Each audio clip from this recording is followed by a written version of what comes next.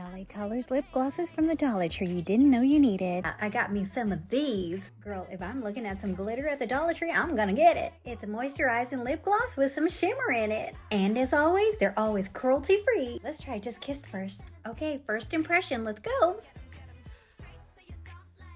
Ooh, it's giving peach. Dreamy pink. Cheerful. It's sparkly and I love it.